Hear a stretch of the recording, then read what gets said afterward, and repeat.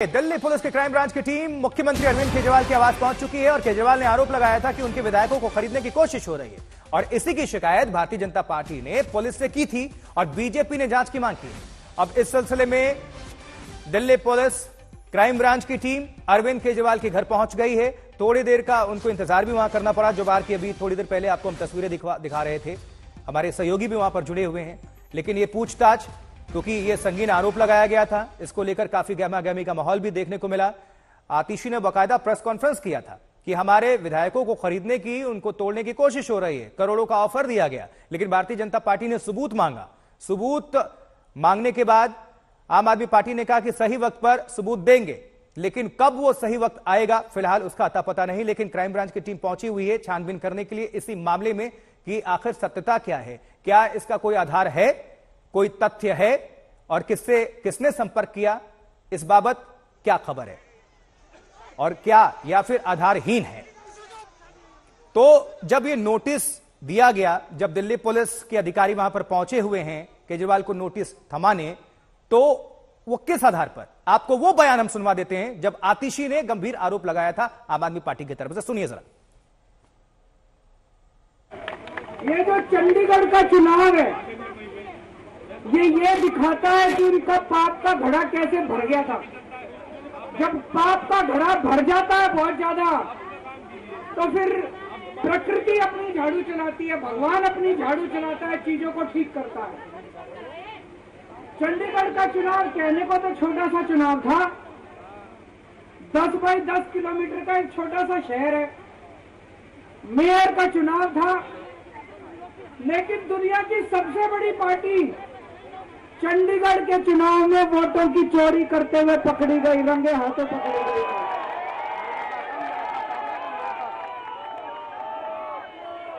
इनकी किस्मत खराब थी। तो दोस्तों, चंडीगढ़ में ये पकड़े गए।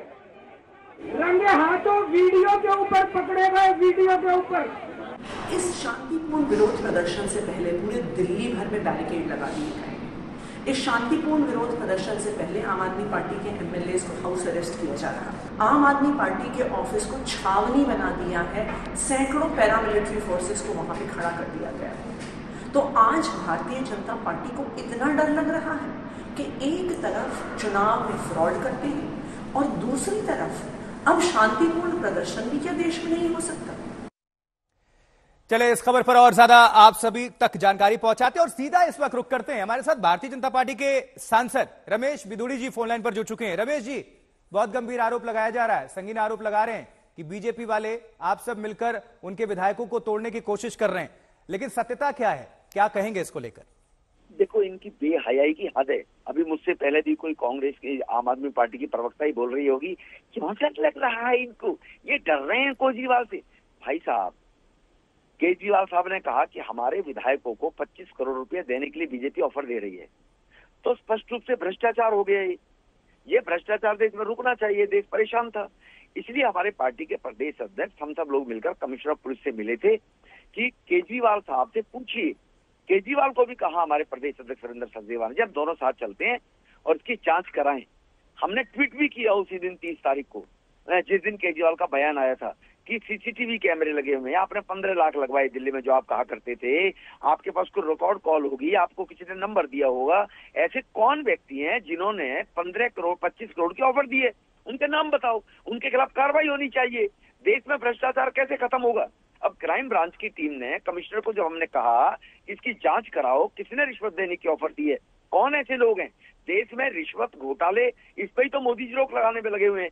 तो कमिश्नर साहब ने अब क्राइम ब्रांच को ये जाँच सौंपी है और क्राइम ब्रांच केजरीवाल से पूछना चाहती है कि भी केजरीवाल साहब देखो भ्रष्टाचार खत्म करने के लिए आप आए थे। ऐसा कौन व्यक्ति उसका नाम बताओ। आपके विधायकों को सामने लो। किसको कहा कि 25 करोड़ रुपए ले लो हमारी तो पार्टी में आ जाओ? वो तो कह रहे हैं कि सही समय पर बताएँगे। वो कौन सा सही समय आएगा? नहीं ये तो उन्हीं से पूछे ना कौन सा सही समय। ये तो आम आदमी पार्टी बताएगी सही समय क्या होता है। अरे भाई अगर तुम्हें किसी ने रिश्वत देने की कोशिश की जेल में जाना चाहिए नहीं जाना चाहिए तो केजरीवाल क्यों नहीं मदद कर रहे? तो केजरीवाल से क्राइम ब्रांच के लोग अब पूछना चाह रहे हैं तो केजरीवाल को बताना चाहिए। कह रहे सात विधायकों। को तोड़ने की कोशिश हुई सात से संपर्क करने की कोशिश हुई लेकिन नाम अभी तक सामने नहीं आया। हवा में रात को सपने में केजरीवाल को कोशिश हो गई क्या? केजरीवाल उनके नाम बताए ना। किसने कोशिश की है? किसने केजरीवाल के लोगों से कहा है? हम यही तो कह रहे हैं ना उनके खिलाफ कार्रवाई होनी चाहिए। ये भ्रष्टाचार का मामला है। पच्चीस करोड़ रुपया देने की जो ऑफ़र दे रहा है वो भ्रष्टाचार कर रहा है। उसके नाम बताएँ केजरीवाल। या केजरीवाल के जो विधायक है जिनको कहा वो नाम बताएँ उनसे पुलिस पूछताछ करेगी। तो क्या ये छवि धूमिल करने की कोशिश है? नहीं नहीं छवि धूमिल करने की कोशिश तो मैं ये बता रहा हूँ ना केजरीवाल को मालूम है वो जेल जाएँगे। वो नेरेटिव फिक्स कर रहे हैं विक्टिम कार्ड खेलने का। क्योंकि उनको मालूम है चंडीगढ़ के उनके कॉर्पोरेटर ने उनके खिलाफ वोट दे दिया। उनको तो कह रहे वहाँ भी धांधली हो गई। वहाँ इनको वोट इनके लोगों ने वोट अगर नहीं दिया है तो किसका कौन जिम्मेवार है जी? अपने परिवार को केजरीवाल संभाले। तो उनको डर है कि कहीं दिल्ली के विधायक भी बीजेपी में ना भाग जाएँ तो पहले से पहले ही तुम्हें नौटंकी करनी शुरू कर दो।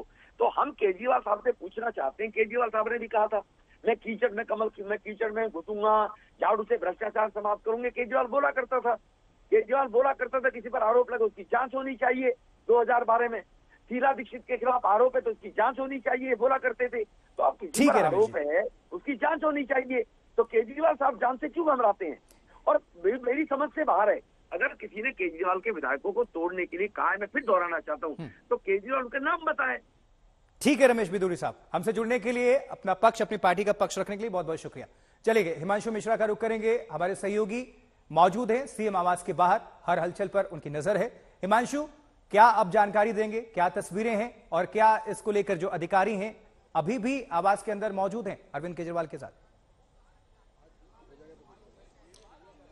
देखिए, मैं आपको बताता हूँ कि जो अधिकारी हैं, जो एसीपी के क्राइम एसीपी क्राइम ब्रांच के हैं, वो सामने जो आप कमरा देख रहे हैं, जो सिक्योरिटी का इसी कमरे के अंदर अभी भी एसीपी बैठे हुए हैं और सिक्योरिटी जिसने हमने जब बात की थी, उन्होंने कहा था कि उन्होंने अंदर मैसेज भिजवा दिया है।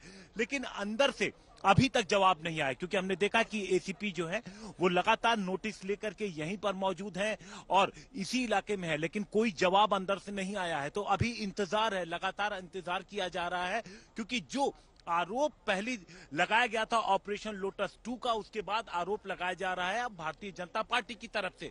और भारतीय जनता पार्टी लगातार ये कह रही है कि उन लोगों के नाम बताएँ जिन लोगों ने विधायकों से संपर्क किया भ्रष्टाचार करने की कोशिश की। ताकि ये साफ़ हो सके।